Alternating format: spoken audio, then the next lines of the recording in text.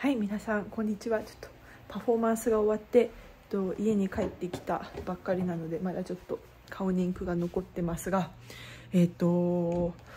皆さんにご報告があります。えっ、ー、とですね新しいアパートのリース契約に昨日やっとサインすることができたので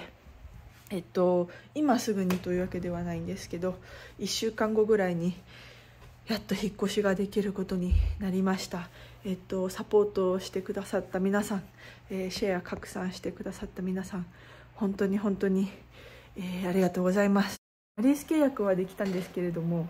あの そのリース契約に行く直前に雨がバーッとあのひどくなった時間帯が昨日あってでちょっとあわやまた浸水かみたいになりかけてたんですよね。浸水しなかったので大丈夫だったんですよ。あの大丈夫だったんですけどそのちょっと危なくてこう慌ててポンプを出してきたりとかしたっていうのがあるのでちょっと昨日の様子をあの次に載せますね。あのこちらです。あのパニックになってる私が見れると思いますのでどうぞ。そう今雨がひどくなってきたので急いで家に帰ってきたらやっぱりパイプの下から出てきてしまっていてちょっとうまくいくかわからないんですけど方法試してみたい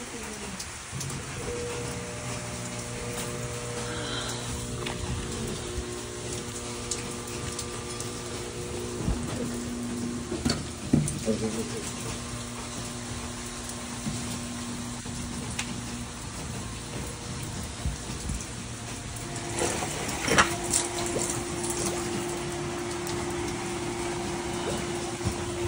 初めて使ってるのでうまくいくかわからないですがこれは出てきてるんでしょうかね。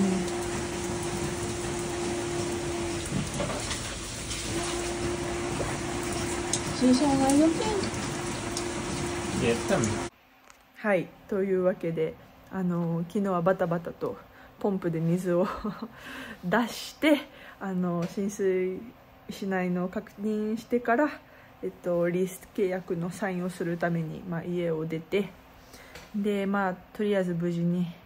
あの引っ越しする場所を確保できたので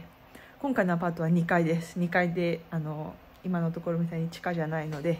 えっと、浸水のあの心配がかなり減ったんじゃないかなと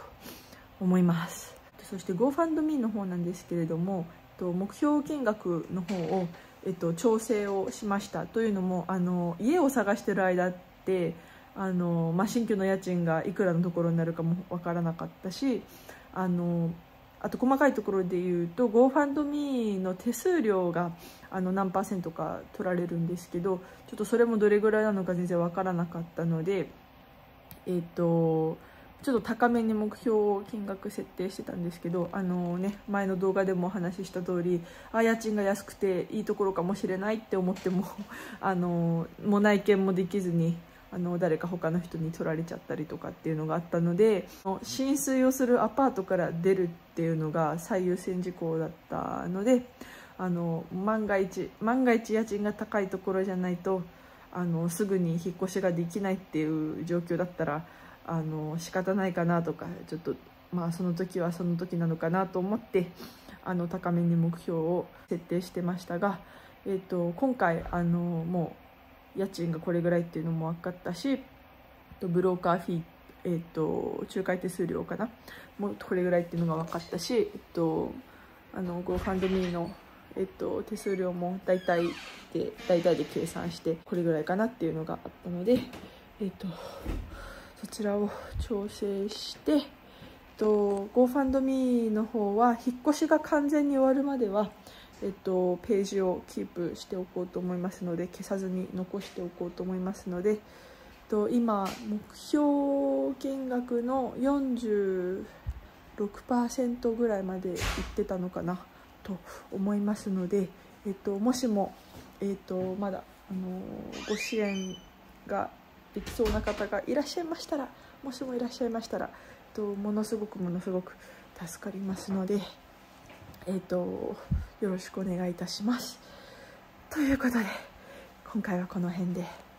終わりにしたいと思います。